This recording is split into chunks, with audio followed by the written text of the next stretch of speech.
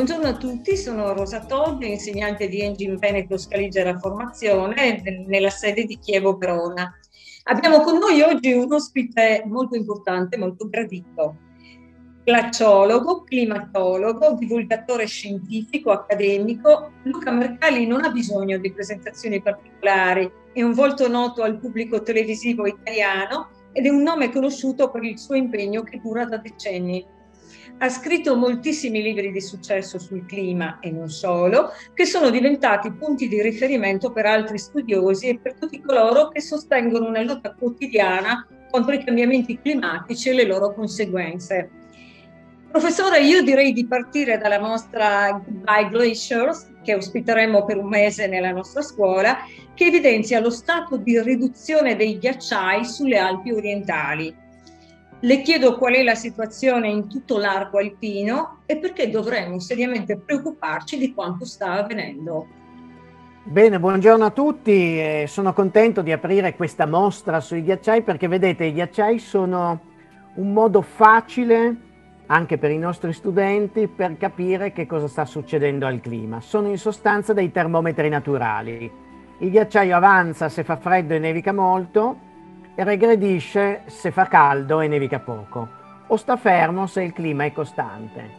I nostri ghiacciai sono venuti avanti ancora fino alla eh, fine dell'Ottocento, una delle ultime grandi avanzate glaciali avviene attorno al 1880, poi ci sarà ancora un momentino di avanzata negli anni 20 del Novecento e poi inizia una ritirata si fermano e eh, rimangono più o meno in posizioni costanti fino agli anni 80-90 del Novecento e poi proprio verso l'inizio degli anni 90, quindi 91, 89, 90, insomma in questi anni, cominciano a regredire. Fino a lì poteva tutto sembrare una pulsazione naturale, ma eh, l'arretramento degli anni 90 è poi proseguito in modo sempre più drastico negli anni 2000 e sta portando i nostri ghiacciai alpini all'estinzione. Io ho iniziato a osservare i ghiacciai del settore alpino del Gran Paradiso nel 1986 e li ho ancora visti in forma. Nel 1986 mi muovevo, eh, avevo 20 anni e iniziavo la mia carriera scientifica proprio di ricerca su questi ghiacciai, mi, mi muovevo su dei campi di neve che resistevano per gran parte dell'estate e su ghiacciai eh, che se anche non erano più in avanzata erano comunque dei ghiacciai di, di dimensioni ragguardevoli, con crepacci, con tutta la morfologia tipica del glacialismo alpino. E a partire dagli primi anni 90 ho iniziato a vederli arretrare. Tra l'altro nel 1991, legato all'arretramento dei ghiacciai, c'è un fatto eccezionale, tanto per l'archeologia quanto per la climatologia, ed è la scoperta della mummia Ötzi sul ghiacciaio del Similaun, sopra Merano, al confine con l'Austria, a 3200 metri. Questa scoperta è importantissima perché ci fa capire che la mummia, datata poi a 5300 anni dal presente, si è conservata perfettamente fino a noi semplicemente perché non è mai uscita dal ghiacciaio. Ecco una prova nuovamente importante della novità di, questo, di questa fase di arretramento. Se i ghiacciai nel Medioevo, in epoca romana, fossero arretrati tanto quanto oggi, la mummia Ötzi sarebbe già uscita più volte e si sarebbe deteriorata. Invece è stata rinvenuta perfettamente integra ed è al Museo archeologico di Bolzano, che è tra l'altro una tappa perfetta per una bella visita con gli studenti, una visita una di quelle gite scolastiche che serve veramente a qualcosa. Torniamo ai nostri ghiacciai che quindi proprio nell'estate molto calda del 1991 eh, dichiarano ormai definitivamente una ritirata che non si è più fermata e negli anni 2000 è proseguita. Allora attualmente la situazione è che i ghiacciai alpini hanno perso il 60% della loro superficie rispetto a un secolo fa. La maggior parte di questa perdita è avvenuta negli ultimi vent'anni, quindi negli anni 2000, in particolare annate caldissime come l'estate 2003, l'estate 2015, eh, 2017-2019 sono in grado di consumare tra i 2 e i 3 metri di ghiaccio in una sola stagione. Mediamente i nostri ghiacciai perdono un metro e, e mezzo di ghiaccio all'anno in questo periodo storico. Siccome non sono ghiacciai tanto spessi, se togliamo proprio i, la manciata di ghiacciai de, più estesi delle Alpi, come il Grosseralech Gletscher nell'Oberland bernese o alcuni ghiacciai del Monte Bianco, la maggioranza dei nostri ghiacciai sono spessi poche decine di metri, quindi il conto è presto fatto. Nel giro di qualche decennio, diciamo entro il 2050, avremo perduto quasi tutti i ghiacciai sotto i 4.000 metri. E rimarrà qualche cappuccio di ghiaccio sulla vetta del Monte Rosa, del Bernina, del Monte Bianco, ma stiamo parlando di ghiacciai residuali. Questo perché la temperatura continua ad aumentare. I nostri ghiacciai quindi sono già fuori equilibrio adesso e con l'aumento della temperatura futuro, tanto o poco che sia, sono ormai condannati all'estinzione. Quindi guardateveli oggi che ancora ci sono, la mostra è perfetta nel farvi vedere che non stiamo parlando di teorie, ma purtroppo di fatti. E le fotografie di un secolo fa e quelle fatte con grandissima attenzione negli stessi punti in anni recenti ci mostrano purtroppo l'entità di questa riduzione che è il termometro naturale del riscaldamento globale che sta avvenendo in tutto il mondo. I ghiacciai stanno arretrando anche in Himalaya, anche nelle Ande, anche nelle montagne rocciose, in Alaska e ahimè anche in Groenlandia ed è la riduzione dei ghiacciai che tra l'altro fa anche aumentare il livello dei mari. Bene, professor, bene, direi molto male. Comunque, lei dice, professore, che la fusione dei ghiacciai purtroppo è ormai una realtà di cui bisogna prendere atto. E io le direi che non è che uno dei sintomi evidenti del cambiamento climatico, insieme ad altri fenomeni estremi, estati caldissime, alluvioni, siccità, incendi, bombe d'acqua, medicains, che cosa sta realmente succedendo a livello globale nel mondo, professore?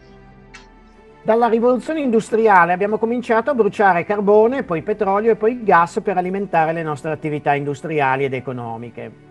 I combustibili fossili emettono, quando li bruciamo, CO2, eh, anidride carbonica, che va in atmosfera. Questo gas è un potente gas a effetto serra, cioè ha una proprietà fisica per cui eh, intercetta una parte del calore che dovrebbe disperdersi dalla Terra dopo essere stato ricevuto dal Sole e mantiene la superficie terrestre più calda, proprio come se fosse una coperta chimica. Questa coperta, se la rendiamo più spesso, ovviamente rende più caldo chi ci sta sotto. E noi rendiamo più spessa questa coperta bruciando da 200 anni i combustibili fossili. Non c'è solo la CO2, ci sono anche il metano, eh, gli ossidi di azoto, sono, c'è un cocktail di gas a effetto serra, ma il più importante è la CO2, quindi quello che arriva da tutti i nostri usi di energia fossile. Anche andando in macchina, se mettiamo nel serbatoio del gasolio o della benzina, contribuiamo a emettere CO2. Un italiano in media emette 7.000 kg di CO2 all'anno, 7 tonnellate. Un americano quasi 20 tonnellate. Un indiano 2. Un africano forse pochi chili. Ecco che c'è una grande disparità tra gli emettitori, le nazioni emettitrici nel mondo, che deriva dal livello di vita, da, da, quanto noi consumiamo e addirittura anche da quanto noi sprechiamo. Allora si è identificato questo problema dell'aumento della temperatura causato dalle attività umane già più di un secolo fa, a, a cura di un eh, eh, premio Nobel per la chimica Svante Arrhenius, uno svedese che nel 1896 è il primo a pubblicare un articolo sulle responsabilità umane dell'aumento di temperatura. Già altri l'avevano identificato prima il fenomeno dell'effetto serra, ma come fenomeno naturale. Arrhenius è il primo che dice noi bruciando il carbone aumentiamo lo spessore della coperta e quindi avremo un futuro più caldo. Cosa abbiamo fatto? Niente in un secolo di allarme in cui la scienza sempre di più ha confermato questi dati, fino ad arrivare nel 1988 alla costituzione dell'IPCC, cioè il Comitato Intergovernativo sui cambiamenti climatici delle Nazioni Unite, quindi non si può dire ormai che non si sapesse, che non c'erano informazioni a livello internazionale. Sono 30 anni che in sostanza i governi chiacchierano, sono consapevoli dei rischi che corriamo e non fanno nulla, cioè non agiscono per la riduzione della causa che sono le emissioni di CO2. E quanto ai danni, eventi estremi perché accadono?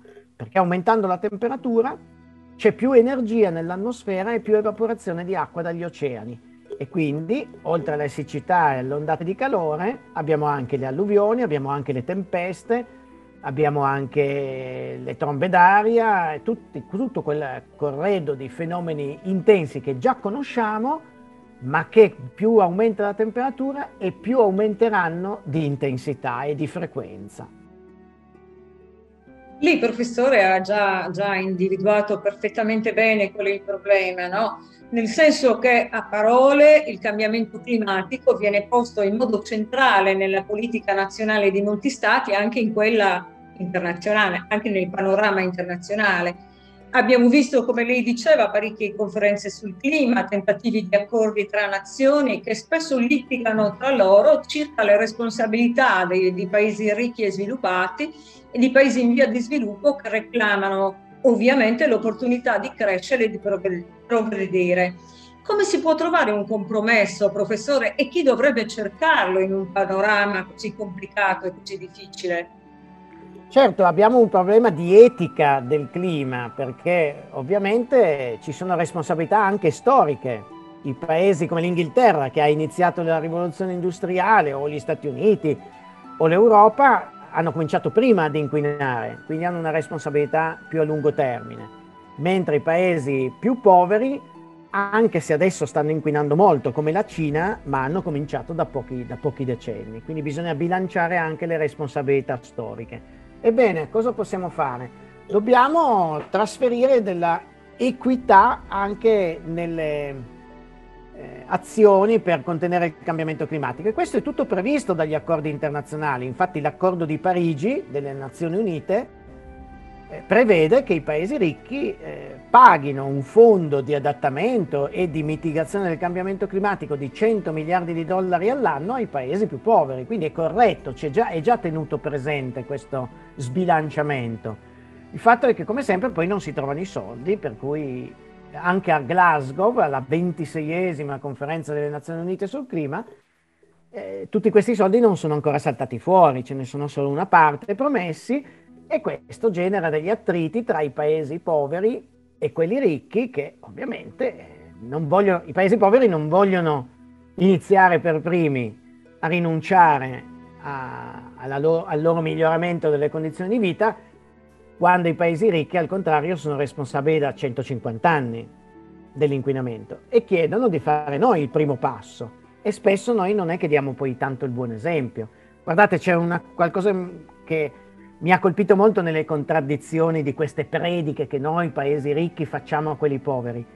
I voli fantasma che delle compagnie aeree sono costrette a fare in questi giorni perché la pandemia limita di molto la frequentazione degli aerei i viaggi e questo è anche un bene, uno si sente dire bene, così inquiniamo di meno, no? Perché ci sono meno aerei. No, gli aerei sono costretti a volare vuoti per mantenere i cosiddetti slot di affidamento commerciale delle varie rotte sugli aeroporti, quindi un problema meramente commerciale e burocratico. Allora, che senso ha che noi facciamo la mostra cerchiamo di insegnare ai nostri ragazzi i rischi dei cambiamenti climatici, gli, fa- gli facciamo le prediche su come risparmiare energia e poi abbiamo sopra le nostre teste aerei vuoti che volano bruciando kerosene buttando milioni di tonnellate di CO2 nell'aria. Ecco, questo è il problema che abbiamo. Una società che a parole eh, si dichiara informata sui rischi del cambiamento climatico,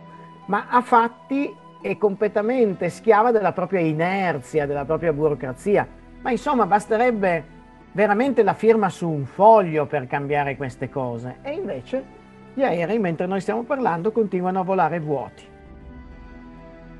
Eh, professore, partendo da alcune strategie, lei le ha toccate adesso in, per certi versi, no? eh, e da alcuni documenti no? messi a punto dalla comunità internazionale, per esempio l'Agenda 2030 con i suoi 17 obiettivi, quanto sono credibili e percorribili queste strategie relative allo sviluppo sostenibile? O forse eh, propone soluzioni ad obiettivi più concreti e più chiari, un altro piano messo a punto dall'Unione Europea che prende il nome di Green Deal. Cosa, cosa ne pensa, professore? Gli obiettivi di sostenibilità delle Nazioni Unite sono assolutamente analoghi a quelli del Green Deal europeo, cioè sono un pacchetto di misure per ridurre il nostro impatto sull'ambiente in generale. Ricordiamo che non ci sono solo i cambiamenti climatici, abbiamo anche la drammatica perdita di biodiversità, ecco, l'inquinamento di plastica negli oceani, l'inquinamento che alla salute, cioè sono tanti i rischi ambientali che riassumiamo tutti insieme perché fortunatamente quello che contiene il cambiamento climatico in buona parte eh, evita anche danni alla biodiversità e alla salute, però non tutto, bisogna fare delle scelte importanti per la sostenibilità ambientale in senso vasto. Eh, si tratta però quasi sempre di belle dichiarazioni che sono sulla carta e per essere trasformate in realtà torno all'esempio degli aerei. È inutile che l'Unione Europea con una mano ci fa il Green Deal e spiega tutto quello che dovremmo fare con delle leggi nuove sul risparmio energetico nelle nostre case, in agricoltura, nei trasporti e poi avalla quelle regole che fanno volare gli aerei vuoti. E bisogna decidersi, cioè la sostenibilità ambientale è fatta di numeri, è fatta di misure, tonnellate di CO2, kilowattora di energia prodotta con um, tecnologie rinnovabili, ettari di territorio cementificati oppure protetti, è fatta di queste cose. Non si fa con le parole, quindi è inutile fare tanti green deal e tanti obiettivi di sostenibilità quando poi i fatti purtroppo eh, continuano a um, emettere CO2, continuano a devastare i nostri territori, a cementificare il suolo, a tagliare le foreste. Meno parole e un po' più di fatti e allora cominceremo a misurare i progressi contro i danni ambientali con questi numeri. Professore, noi frettolosamente, appunto come lei ha sottolineato bene, vediamo solo alcune conseguenze del cambiamento climatico, no? quelle di maggiore impatto. Altre sembrano chissà perché lontane, nebulose, appunto quello che lei diceva, le migrazioni climatiche, la distruzione degli ecosistemi, la mancata tutela della biodiversità, le epidemie, l'aumento del livello del mare, gli allevamenti intensivi che sono così deleteri. Ma noi persone comuni, che cosa possiamo fare per mitigare o ridurre questi danni che necessitano immediatamente di una soluzione? In sintesi, professore, le chiedo quali sono gli ambiti di intervento tempestivo per evitare un futuro catastrofico che tutti noi possiamo mettere in atto. In attesa che i grandi leader internazionali eh, trovino accordi finalmente incisivi sulla salvaguardia del clima e dell'ambiente, ognuno di noi però può cominciare a fare qualcosa. Eh, direi che il 50% del problema è nelle nostre mani. Ecco, il 50% è nelle mani della politica internazionale, ma noi possiamo almeno per la metà eh, contribuire a risolvere il problema su quattro settori principali. Uno è quello della casa e del modo in cui usiamo l'energia. Le nostre case sprecano un sacco di energia, in Europa circa il 35% del pacchetto generale dell'energia che usiamo. Eh, la disperdono dagli spifferi, dalle finestre a vetri singoli, dai muri poco isolati. Quindi riqualificazione energetica delle case, attingendo anche ai vari eco bonus, e energie rinnovabili. Riempiamo i nostri tetti di pannelli solari, ad eccezione dei monumenti storici che io dico lasciamoli pure tranquilli, non c'è bisogno di mettere i pannelli solari eh, sui monumenti, ma sulle enormi periferie urbane che abbiamo, piazzali, supermercati, abbiamo una quantità di territorio costruito che può essere tutta ricoperta di pannelli fotovoltaici. Poi abbiamo l'eolico, poi abbiamo l'idroelettrico, insomma, mettendo insieme tutte le energie rinnovabili, dobbiamo arrivare nei prossimi decenni a sostituire carbone, petrolio e gas con le energie rinnovabili. E si può fare, ci sono ancora dei limiti tecnologici, bisogna dirlo, non è tutto pronto, ma se partiamo con questo processo anche l'innovazione tecnologica andrà dietro. Per esempio, uno dei punti più importanti è trovare una soluzione allo stoccaggio delle energie rinnovabili che sono intermittenti. Il sole c'è di giorno e di notte come facciamo banalmente? Dobbiamo trovare il modo di mettere da parte l'energia quando c'è per usarla quando ci serve e questo è un po' l'anello mancante per quanto riguarda le rinnovabili. Mentre è chiaro che col carbone e col gasolio uno si fa un bel deposito e poi usa e brucia quando vuole, di notte, di giorno, quando c'è il vento e quando non c'è. Eh, l'altro secondo importante settore è quello dei trasporti. Dobbiamo viaggiare di meno. Il viaggio come lo concepiamo oggi, in aereo, in macchina, in treno, è comunque sempre un viaggio impattante, perché facciamo molti chilometri in poco tempo e quindi serve molta energia. Viaggiare a piedi o in bicicletta non ha emissioni sostanzialmente. Viaggiare con i mezzi pubblici ne ha meno, ma certo non nulle, anche un autobus, anche un treno consumano, viaggiare in aereo è sicuramente il modo più impattante perché usa eh, kerosene e facciamo migliaia di chilometri in una giornata. Quindi cercare di ridurre i nostri spostamenti è il primo obiettivo. Il telelavoro, quello che stiamo usando noi adesso per fare questa registrazione, grazie alla pandemia, ha sicuramente fatto vedere che si può in tante occasioni viaggio fisico con un incontro telematico. Questo fa risparmiare un'enormità di CO2.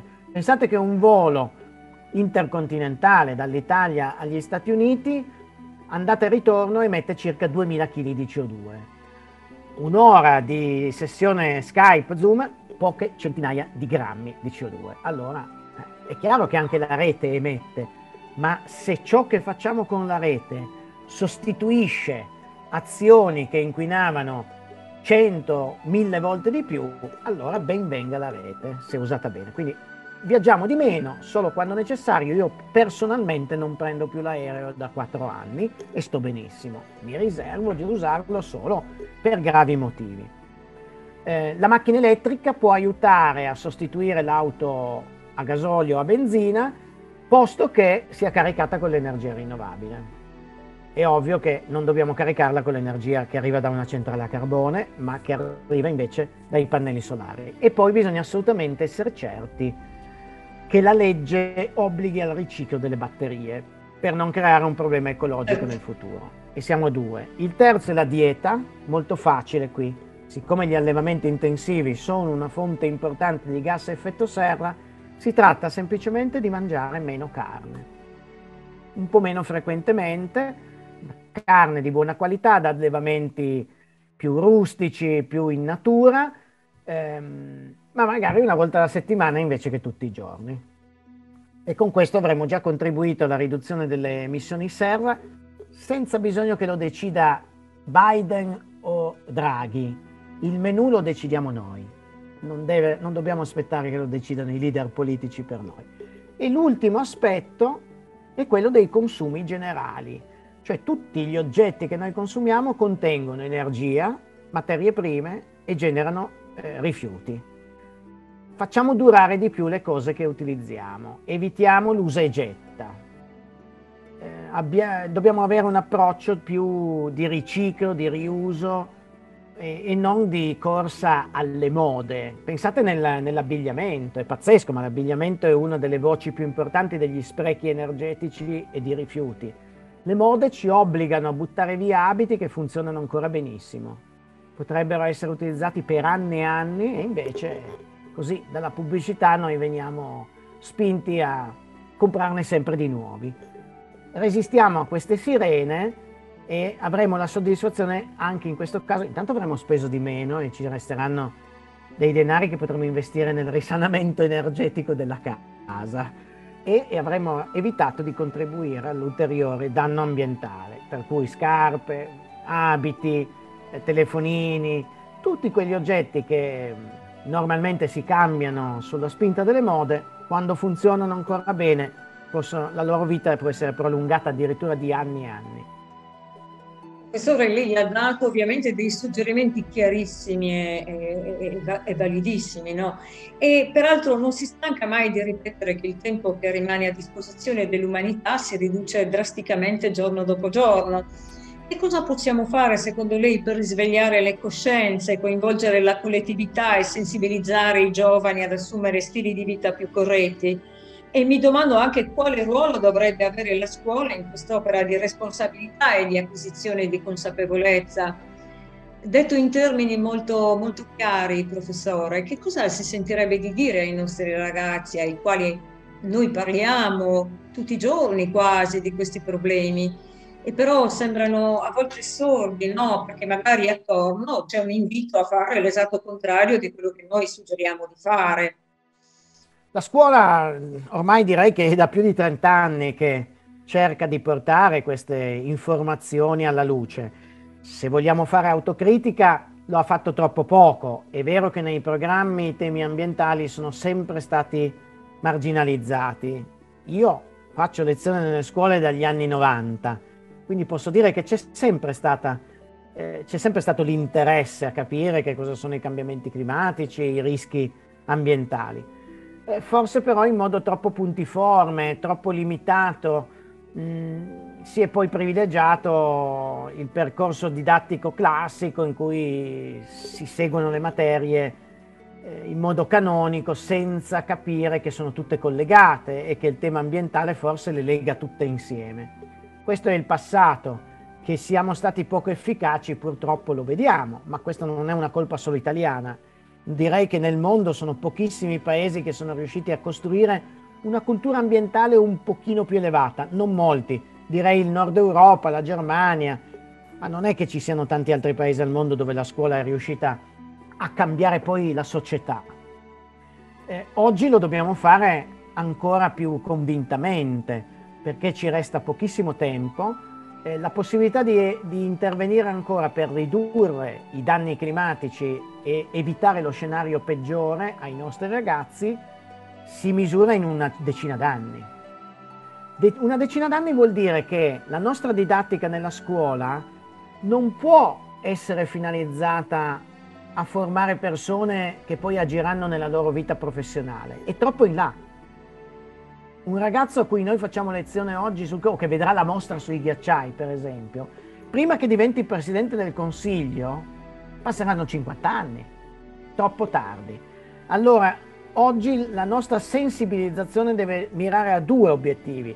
Il primo è fornire ad ogni studente, studentessa, gli strumenti per capire la crisi climatica ambientale come protezione della propria vita, per il proprio individuo perché il rischio climatico non è solo un argomento scientifico, è un problema di, di salvare la pelle. Quindi è come dare delle istruzioni di autosoccorso, come spiegare a una persona le istruzioni di pronto soccorso, così come dovremmo spiegare come si fa la protezione civile in caso di alluvione, di eventi estremi. Tutte queste cose la scuola le deve dare perché fa, dovrebbero far parte di ogni cittadino come cassetta degli attrezzi. Ma il secondo obiettivo è spingere i giovani a premere sulla politica e sulla società attuale perché risolva i problemi in questi dieci anni che ci rimangono. Quindi non possono farlo loro direttamente perché non sono ancora nelle posizioni di comando, ma possono farlo a partire dai loro genitori, dalle loro famiglie, fino alla società, ai media, ai giornali, alla politica. Questo possono farlo, anche se i tempi sono stretti. Quindi noi abbiamo molto da fare, abbiamo una grande responsabilità come formatori, ma i ragazzi hanno la loro come scintilla che deve far partire questa valanga di consapevolezza nella società. Bene, professore, io penso che lì sia stata chiarissima e la ringrazio per la sua disponibilità e per i suggerimenti che ci ha dato e mm, la invito a vedere la nostra mostra ovviamente quando vuole, se vorrà sarà il benvenuto ne approfitto. Eh, fate una bellissima cosa con questa mostra. Io quello che posso dire a tutti coloro che la guarderanno, che rimarranno sicuramente stupiti a vedere queste fotografie di cento anni fa e di oggi dove il ghiacciaio non c'è più e faranno di fronte a queste immagini, oh, guarda, il ghiacciaio è scomparso. Ecco, il collegamento importante è è scomparso per colpa tua. Non è andato via così perché sì, per c'è un certo. processo certo. cosmico che ha deciso, è scomparso per colpa tua, nostra. Ma la buona notizia è possiamo ancora evitare il danno peggiore. Quel ghiacciaio lì non lo rifaremo più in tempi umani, ci vorranno tempi geologici, ma almeno possiamo evitare di creare un pianeta inabitabile. Grazie professore, è un messaggio di speranza che lei sta lanciando e che noi porteremo insomma ai nostri ragazzi. Peraltro come scuola professionale Engine Veneto di Verona, in collaborazione con la scuola paritaria Provolo e con il liceo Guarino di San Bonifacio di Verona, vogliamo un po' fungere da portavoce aprendo le nostre sedi alla mostra Goodbye Glaciers per diffondere informazione e consapevolezza su questo importante tema che condividiamo con lei, professore, ovviamente. Ottimo. Grazie ancora. Partiamo dai ghiacciai per arrivare alle cose che studiate. Bravo, certo. Io ho visto certo. elettricisti, idraulici, sono tutte professioni che hanno a che fare poi con il risparmio energetico e il passaggio alle energie rinnovabili. Quindi Puramente. quel ghiacciaio, quella fotografia del ghiacciaio, com'era e com'è, cioè come non c'è più, è lo stimolo, la motivazione per i nostri studenti a diventare bravissimi nella loro professione per ridurre lo spreco energetico e per passare alle energie rinnovabili. Grazie professore, arrivederci. Buona mostra a tutti. Grazie, grazie.